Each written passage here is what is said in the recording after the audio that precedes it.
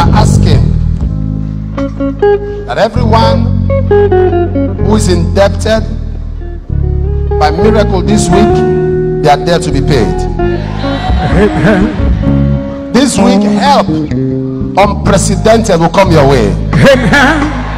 Favor unimaginable will come your way. Testimonies incontestable will happen to you. May the gate of blessing open to you this week. Anyone that rises up against you shall fall.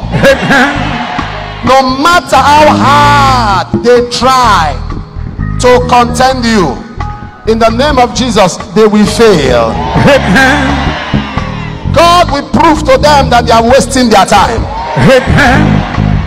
As the enemies keep attacking you, you will keep rising.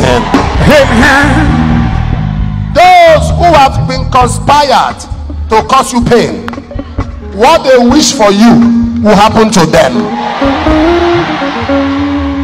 May you enjoy divine overflow, unprecedented grace and glory. In Jesus' name.